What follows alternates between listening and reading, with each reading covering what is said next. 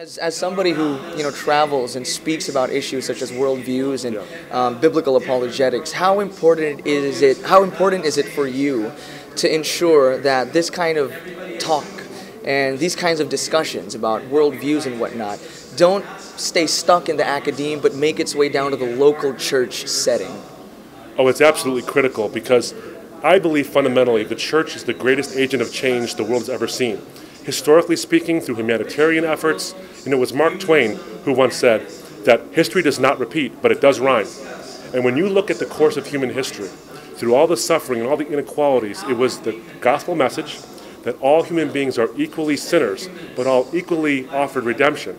That gives you the sense of equality. And that's what changed the Roman Empire from a slave state to a republic that eventually gave everyone their rights. Then it was the Christians who went in and helped the plague ships, uh, people who were infected with plague, and they got plagued themselves. Fast forward 1500 years, 500 years, whatever it is, and you find Christians going into Ebola infested Africa, and they're actually getting Ebola themselves to help people.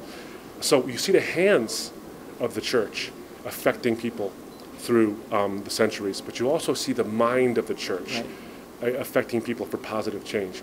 And right now, we're experiencing in our day a battlefield of the mind mm. where the questions are swirling and the answers are being given. And the church, the greatest agent of change there is, needs to offer answers that aren't just feel good, but make you feel good because they're true and give them credibility to a world that's dying to know is this gospel worth believing?